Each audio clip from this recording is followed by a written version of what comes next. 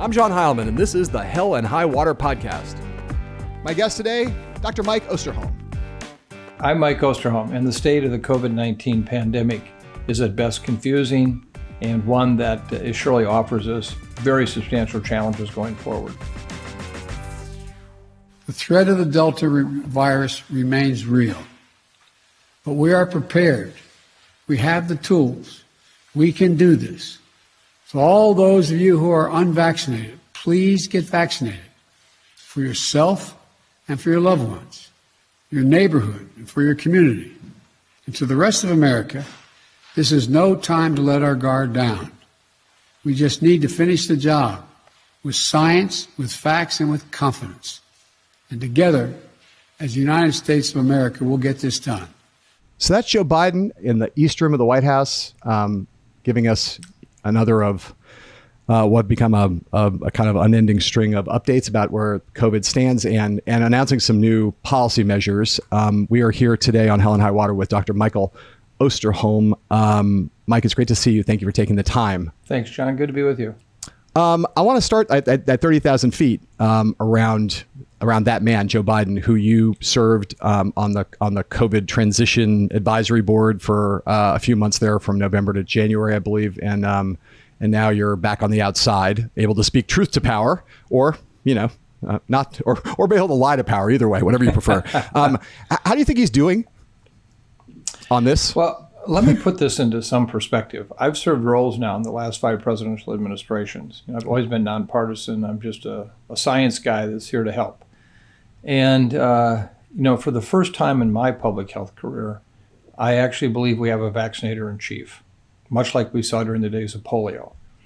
And from that perspective, I don't think there's anything more that we could ask of this president in terms of trying to get America vaccinated to protect them against this pandemic.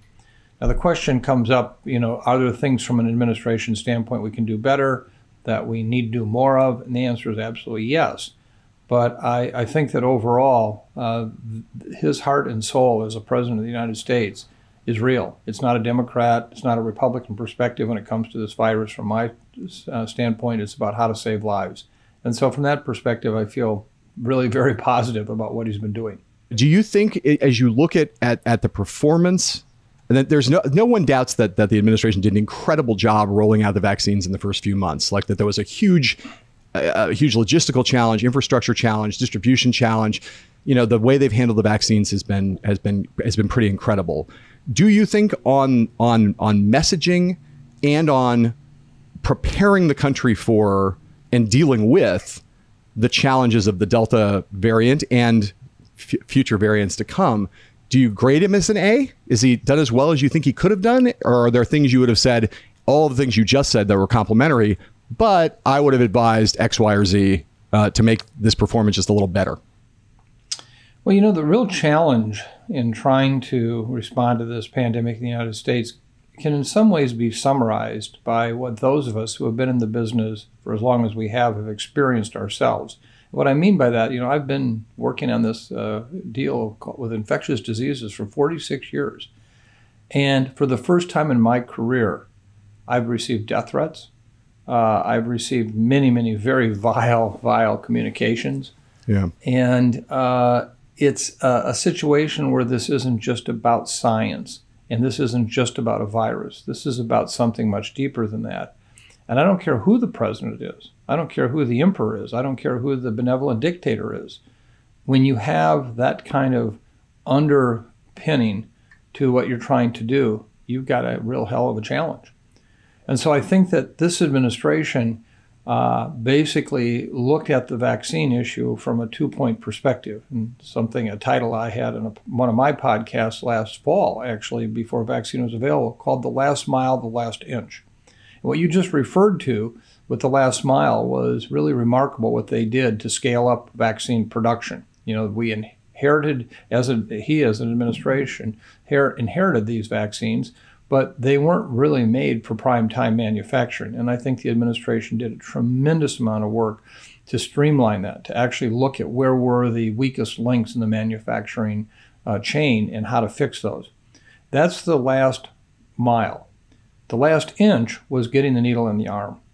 And I don't think anyone anyone fully understands yet the depth of resistance and why it happens to getting that done.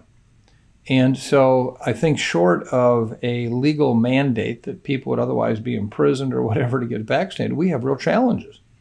And the administration basically, I think, is attempting now to address those issues in ways they hadn't before. I think that they thought that if we just talked about it enough and people saw the, uh, enough information about the vaccine that they would, in fact, embrace it. If anything, uh, that has hardened. It's not gotten easier. There are now, I think, three groups in this country. We used to think of two groups the vaccine affirmative, couldn't wait to get their vaccine for their kids, for themselves, and the vaccine hesitant, people that wouldn't get it, anti vaxxers that were really against it, but many would come to the point of getting it. Now we have a third group, the vaccine hostile. This is a group that will actually actively go out of their way to make it difficult for people to get a vaccine. And so I think in this case, I don't have any magic pixie dust answers for the administration other than to say these are the things you just need to keep hitting home and hitting home. And, you know, tell the public the truth. The truth is this is a highly infectious virus that if you don't get vaccinated, you will know a COVID related outcome one way or the other. I, want to ask you about booster shots just because it's one the thing that's on everybody's mind right now. Having to get boosted this quickly uh, speaks to maybe a little bit that that these vaccines are not quite as as as effective or as as durable as we had all hoped. Yeah. Well, let me unpack a couple of different issues here that I think are really important to distinguish. First of all, let's talk about the difference between a prime series and a booster dose. And that's important because we all started out with the mRNA vaccines, the Pfizer and the Moderna vaccines, with the two dose approach. Of course, the J&J was the one vaccine uh, dose approach.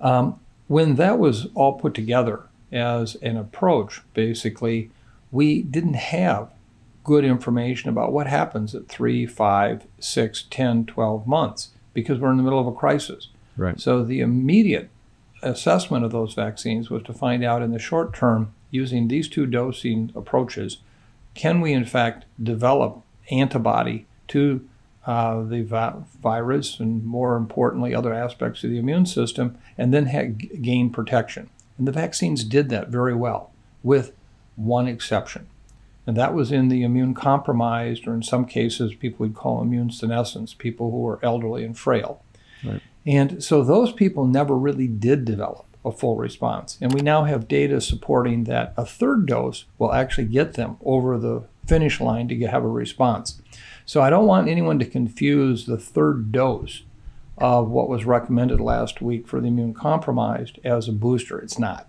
It's the prime series, just like in children where we see right. three and four doses of vaccine needed before they finally have the appropriate full response.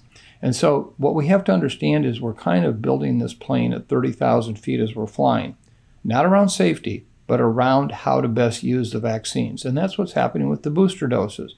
And so I, I think that you're going to see over the course of the next uh, three to five weeks more data coming out that basically say for most people, uh, these vaccines are very, very effective in reducing serious illness, hospitalizations, and deaths without a booster.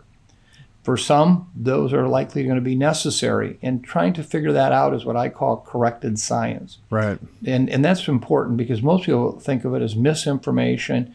Uh, you know, you didn't really know what you were doing. And in fact, no, this is science at its best. We yeah. learn something, we apply it. We learn more, we apply it. And so that's how I see the boosters. I don't see this as a failure of the vaccines. I see it as us learning how to best use them. Um, I want to ask you one last question before we take a quick break, and that relates to your home state, um, where uh, you have the Minnesota State Fair coming up soon. I, I read, and uh, that at the end of the month, August 26th to September 6th, where the fair is uh, is not asking. Uh, there's no no mask mandate at the fair, and there's no uh, proof of vaccination, and nor a, a, proof of a negative test. Has Minnesota gone off the rails here, or does that make sense to you that you have a Minnesota State Fair without any of those protections under the current circumstances in which we live? As a nation, we have finished with the virus long before it finished with us. And I think that you couldn't be an elected official today to say close down the state fair. The public wouldn't stand for it, yeah. but the public will pay a price. And I think we're going to see more of these super spreading events with these outdoor events. And all we can do is continue to urge people please, if you do go, You know, wear respiratory protection, wear an N95. Know that if you're indoors and you're in crowds, that's a higher risk than being outdoors, but outdoors is not perfectly safe. This pandemic is going to go on for a while.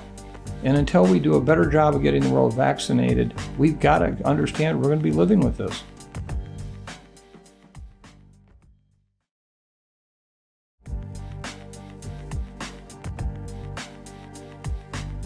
This year, the 4th of July is a day of special celebration, for we are emerging from the darkness of years, a year of pandemic and isolation, a year of pain, fear, and heartbreaking loss. Today, all across this nation, we can say with confidence America is coming back together. 245 years ago, we declared our independence from a distant king. Today, we are closer than ever to declaring our independence from a deadly virus. We're getting back to, you know, the things that we love. I mean, think about it hugging, hugging the people we love, catching up with our friends face to face, smiling at strangers this is Independence Day weekend almost, and I'm so glad that we can spend it here with the people who matter to us most. And doesn't the air just smell so much sweeter without our masks? It did. It smelled a lot sweeter without our masks, Mike. Um, and and then now we have our masks back on. Um, I, I, am not I'm not playing the sound just to, to mock them, right? They were caught up in a moment, as were a lot of us, I mean, everybody, include myself, of, of optimism about the possibility that we turned the corner on this virus, and and everybody was, you know, natural human inclination to be um, to to start to kind of get back to normal, given the nightmare we'd gone through for the year prior. We all got a little over our skis. Were, are there is there stuff we can point to right now where we say these are other bad consequences that came from that moment where we should have been more cautious and that we should learn from for the future? You know, one of the things I think that hasn't really been understood is just what is the influence of the media and what is the influence of programs like this. And and uh, you have done a great job of covering this topic. But you know, I, uh, as some know, I've often been labeled, and uh, as unfortunately as Doctor Doom or Doctor Gloom, because I said right through the spring into the early summer that this virus was not done with us, and that we had a sufficient number of people in this country who had not been vaccinated nor having previous infection that we could see a surge just like we saw and we're seeing now. And so for me, well, I'm not surprised where we're at right now uh, at all. Uh, but it was really hard to talk about that. And I actually had news media shows. As you know, I have been on a number of them, one of the talking heads, where producers would say, you know, we're, we're, we're just not interested in having your message right now. So uh, you know we're kind of going to take a pass on that because we're we're beyond that now. We're we're we're out there. We're we're okay. And you know there was no amount of scientific reasoning that would come with that. A number of my colleagues, who again were I'll label affectionately the talking heads like myself, who assured the public that in fact all the modeling data said the summer was going to be quiet and we might see a little bit of an uptick in the fall. And I think that we all collectively, as a nation, helped each other get to that point of what you heard the president and the first lady say.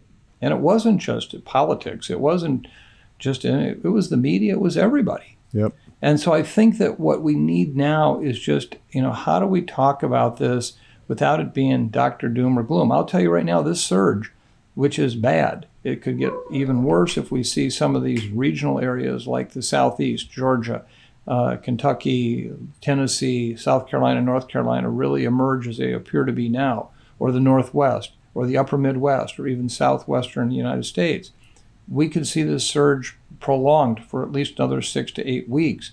And but it's going to go down. It's going to go down, and yeah. we're going to hit another October, early November time period where I think things will be very quiet in this country. But we'll still have 80 million people left who will not have been vaccinated or protected from this virus by having had it yet. Yeah. 80 million is a lot of wood for this coronavirus forest fire to burn. Yeah. So when ha- the next surge happens, are we going to be just as surprised? Are we going to be taken back by that? And I think that's the mindset that we have to start looking at this pandemic in. And clearly, on a global basis, that's it.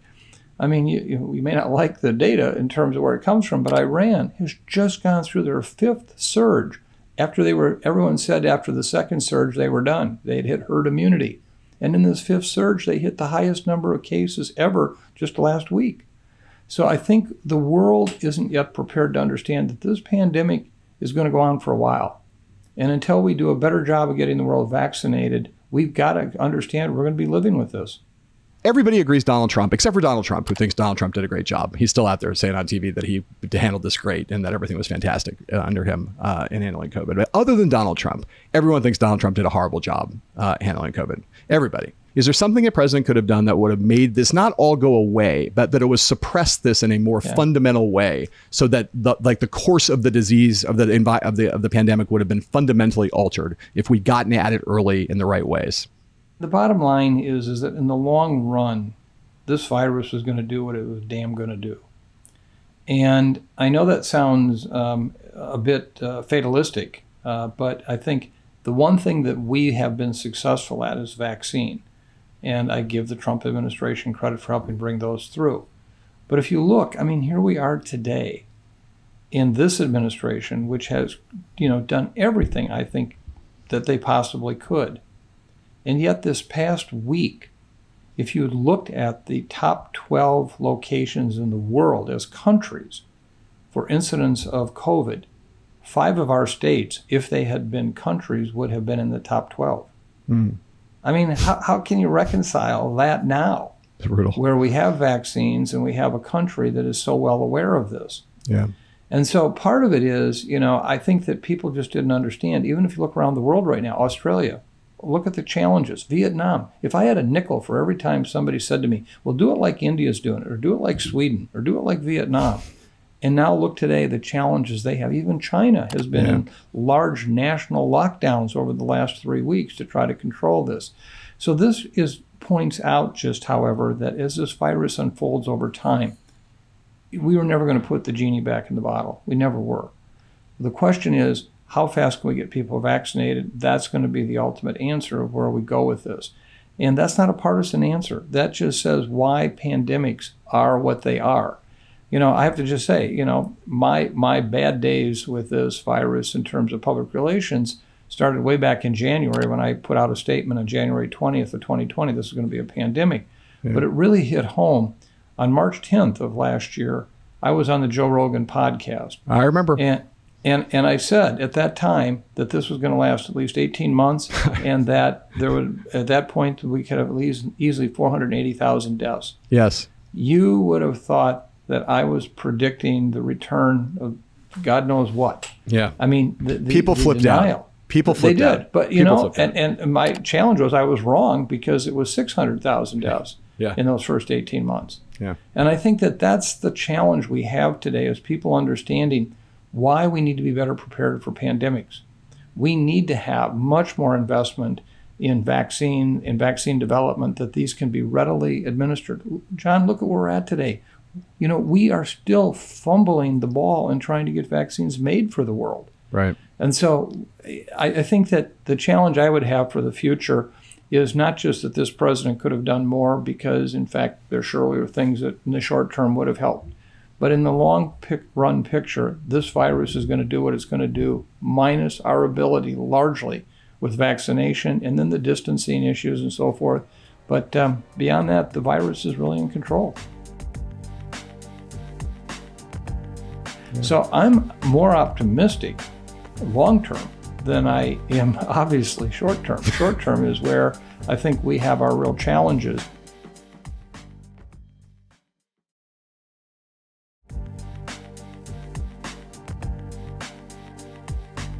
If you allow the virus to freely circulate in 93 million people and give it the opportunity to find vulnerable targets, you give it the opportunity to mutate and form another variant. People say, well, I'm healthy. The chances of my getting seriously ill is very, very low. So why do I need to worry about getting vaccinated? And the reason is it isn't all about you.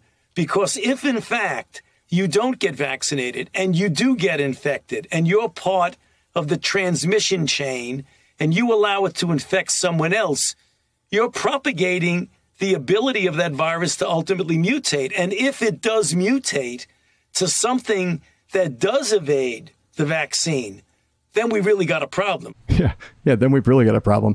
Uh, so is that coming? Or is that where we're? I mean, Delta's really bad. It's even worse than we thought it was, Mike. Um, but you know, Anthony Fauci and others. That's Fauci basically saying why everybody needs to get vaccinated because if we don't get vaccinated, yeah. the mutants will, the virus, the variants will spread. But his, the last thing is the thing everyone's scared of, right? Is are we on our way? Uh, and again, you you were, have pointed out a number of times in this podcast and elsewhere that the virus is going to do what it's going to do is the virus kind of inevitably going to mutate eventually towards a, vac- a, a thing that is resistant to these vaccines we developed? Well, the long and short answer is we don't know. But let's just look at what evidence we have about what might happen. First of all, I do agree completely with Tony's assessment. For a virus to basically overtake Delta, for example, it's got to be a virus that has some advantage. Is it more infectious? Uh, is it more likely to evade immune protection? Well, evolution is all about viruses or bacteria or any other living species finding an advantage over some one of their others. And so, you know, the gravity of the situation, meaning which way will something fall, is going to be that the only thing I see happening over time is that a virus either becomes more infectious to overtake Delta or it does develop this ability uh, to evade immunity. Um, and I think we have to understand that that's a possibility. Will it absolutely happen? May not. Maybe what if Delta becomes the king of the block and is still around, uh, you know, four or five years from now? I don't know that. But the potential for that to happen is very real. And as much as Tony emphasized the 93 million Americans, which I fully agree with, yeah. I worry every day about the 6.4 billion people Billions, living in yeah. low and middle income countries that have had less than 2% of them having access to the vaccine. Right. So that's where we're really going to continue to see the variant spin out. And if there was ever a reason for an international response of emergency proportion, it's not just the humanitarian issues, it's all about stopping these variants because we could have, John, one day, one, as Tony described, which could be much worse. In July of, of 2020, uh, at a CNBC virtual event, you said this is a very difficult virus to contain. It will never be fully stopped short of a vaccine, and even then it will be slowed down again. We're going to be dealing with this forever. What do you mean? What did you mean by that? What do you mean by that? What does dealing with it mean? What does forever mean? The right. possibility that it's never going to go away is the thing that terrifies most people. Well, when a new infectious agent like this evolves from, in this case, the animal kingdom and gets into humans, we will likely have a, a continued experience with that for as long as humans are around. I mean, take an example of HIV/AIDS. You know, when HIV AIDS emerged really on a global basis back in the early 1980s, it had already been in the human population probably for decades in Africa, but not really spreading. When it took off, you know, it caused the horrible, horrible pandemic that it did in a sense of, of global transmission. Today, it's still here. It's under a much more manageable condition in terms of, of drugs. We unfortunately still don't have a vaccine. In low and middle income countries, it still is taking a tremendous toll. Um, and we're dealing with it. Most people would probably never even think of HIV/AIDS as having been a pandemic at one point, yet it is. Right. What I see happening with this virus is, you know, it's not going to kill all of us off, or it wouldn't have any place to reproduce. So somewhere there's going to be a static state situation that will exist, or maybe it'll become a seasonal virus, where having 90 some percent of the population either protected from vaccine or previously having had infection, and then we'll see these peaks every every winter or whenever they occur. And so it's not going to be the same as we see with these surges. That, that happens in the earliest years. Uh, and unless somehow we have no long term memory in terms of our immune systems, we will one day come into a static state with this, much like we did HIV/AIDS. And that's what we talk about by forever. So it's not the same right. with these surges like this, but it will nonetheless still be challenging. Uh, we're not going to ever eradicate it out of the human population. Imagine if we didn't have the very, very important drugs we have today for HIV AIDS because we don't have a vaccine yet for that. Imagine we'd be in a world ravaged by HIV AIDS every day. Yeah. So I'm more optimistic long term than I am obviously short term. Short term is where I think we have our real challenges. And so, from that perspective, please, world, help us get everyone vaccinated And again, all I can point out to you is if you don't get vaccinated, you will know potentially a very serious, serious COVID outcome. And if it's not you, it may be one someone you love. I have talked to too many parents, too many parents, who brought the virus home to their young children, Yeah. where that child ended up in a pediatric intensive care unit. You don't want to be that parent, trust me. Uh, Mike, thank you for taking the time. Uh, and uh, words to live by and words to listen to, those last ones from Mike Osterholm. Uh, thanks a lot, Doc. See you later.